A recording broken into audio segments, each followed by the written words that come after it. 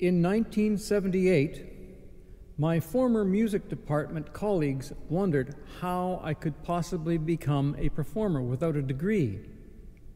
By 1982, I had performed in front of 150 people at St. Mary's University Art Gallery. In an interview on CKDU radio, Steven Slater commented on the sea of keyboards in my performing rig, avoiding any mention of just what it was that I was doing with them.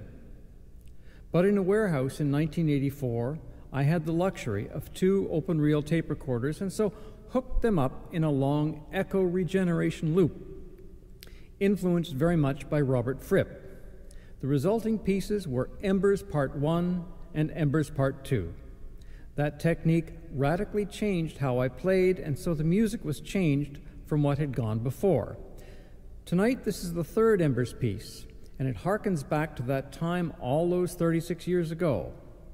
Instead of the two tape recorders, I have a pair of modern digital delay lines. Instead of a sea of keyboards, I have just one.